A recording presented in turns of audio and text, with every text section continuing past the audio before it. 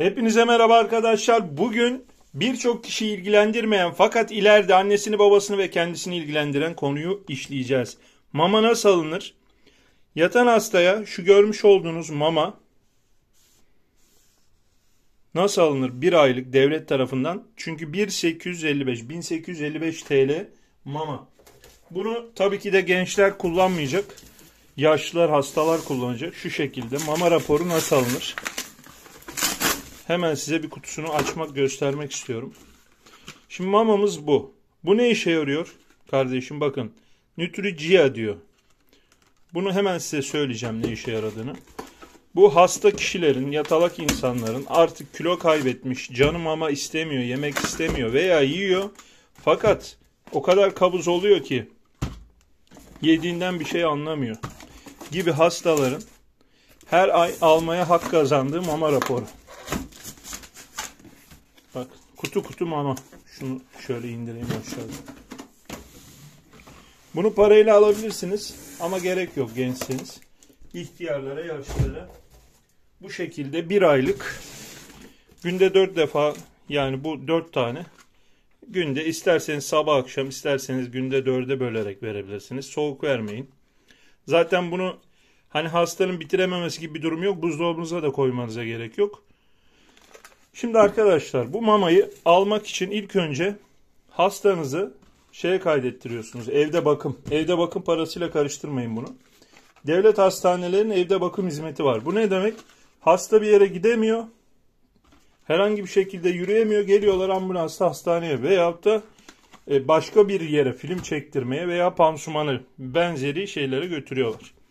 Şimdi bu mamayı almak için ilk önce oraya başvuruyorsunuz. Diyorsunuz ki benim hastam evde bakım hastası. Böyle böyle bir durumu var. Hemen oradan bir ekip çıkartıyorlar. Ertesi güne geliyorlar. Ertesi güne ekip çıkıp geldikten sonra doktor kontrol ediyor. Diyor ki bu kişiye mama yazılması lazım. Ama burundan ama e, işte başka yerden bir şekilde veriyor onlar. İşte öneriyorlar, söylüyorlar. Bizim annemiz çok şükür içiyor. Ağzıyla içebiliyor yani. Neyse sonra diyorlar ki işte nöroşirurji yani beyin cerrahı bu işlere genelde o bakıyor. Ona gideceksiniz diyorlar. O da hasta hakkında bilgi alıyor. Diyor ki işte e, nedir şudur. Görmek istiyorsa mesela görebilir de. Mesela yatırmışsınızdır konsültasyon ister doktor. Görebilir. Der ki tamam buna şu mamayı yazın. Bize bu şekilde dört tane günlük mama yazdılar. Burada bakın değerleri de var. Bunu sporcular da kullanıyormuş ama Hani bu sporcular için değil. Niye kullanıyorlar anlamadım.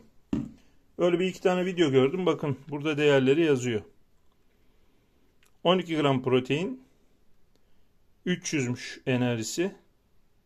Bu fibre 4,5 gram. Neyse artık o herhalde yaralar için veya başka bir şey için. Bakın burada da ne yazıyor? Yüksek enerji besin öğeleri açısından tam çilek aromalı. İstediğiniz aroma var. Muzlu var. İşte başka şey var. İstediğiniz gibi hasta neyi seviyorsa artık bunu alabiliyorsunuz bu şekilde. 1800 lira aylık neredeyse para ve devlet ücretsiz veriyor bunu. Gidiyorsunuz ondan sonra o raporu çıkartıyor diyor ki ben raporu çıkarttım şu şu şu şekilde yazıyor mamaları.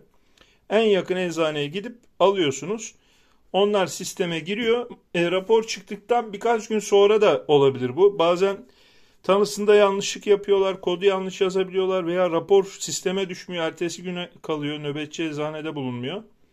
Bu şekilde gidiyorsunuz. Yani direkt ben hastama mama çıkartmak istiyorum, evde bakıma da kayıtlı değil derseniz ya hastayı götürmeniz lazım, doktoru mutlaka görmesi gerekiyor. Ve yatalaksa işiniz daha kolay. Şimdi ben annemi hiç götürmedim. Doktor geldi, baktı. Dedi ki bu hastanın mamaya ihtiyacı var. Evde bakım doktoru var çünkü. Evde bakım ne demek? Geliyor hemşire pansuman yapıyor. Doktor geliyor muayene ediyor.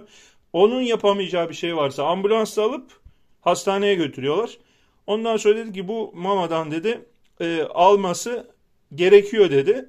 Ondan sonra beyin cerrahı e, onun yazısına itibaren e, bize rapor çıkardı. Ha deseydi ki hani bir de sizin bakmanız lazım doktor bey doktor hanım deseydi e, bir getirin veyahut da ben geleyim boş vaktim varsa diyebilirdi. O da gelebilirdi. Bizi de oraya çağırabilirdi. Veya yatıralım bakalım şu mamayı verelim. Bakalım hani yiyebiliyor mu, kusuyor mu, onu işte ne gösteriyor vücudu? Boşu boşuna yazmayalım. Çünkü bu bir aylık mama bir sürü mama. Yani bunu devlet ödediği için bunu yazdırıp e, çöpe atmayın yani. Çünkü öyle çok kişi var. Ha hasta ölürse o ayrı mesele. Hasta vefat ediyor mesela. Ben öyle de kullandım. Hasta vefat etmiş. Eczacı da hasta olduğumu biliyor benim annen babamın. Dedi ki bizde dedi mama var dedi kardeşim böyle böyle yeni gelmişti. Hasta da vefat etti hani ikinci, üçüncü, dördüncü mamaları yememişler. Verir misin? Tabii dedim veririm niye vermeyeyim anneye babaya verdim. Baba da dokundu mesela ishal yaptı. O laktoz alerjisi var herhalde onun. İshal yaptı onda. Onda pek içemedi ama anne içti. Ondan sonra da dedim o zaman iyiydi biraz. Mama yiyordu. O zaman iyiydi. Sonra dedim bunları alalım. O yüzden arkadaşlar bunlar sporcular için değil. Yani gidip de sakın yazdırıp kadının mamalarını siz yemeyin. Siz kardeşim doğal beslenin. Bu şekilde. Mama kendinize iyi bakın. Allah'a emanet olun. Bu verdiğim bilgiler altın bilgiler değerindedir. Zamanında anlaşılacak bilgiler. Şimdi insanlar iyiyken, sağlıklıyken bunu anlayamazlar. Ne zaman sağlıkları gitti o zaman anlarlar. Yanlış mıyım kardeş? Çok biliyorsun sen de be kardeşim her şeyi der gibisiniz ama gerçekler acıdır kardeşim. Kendinize iyi bakın.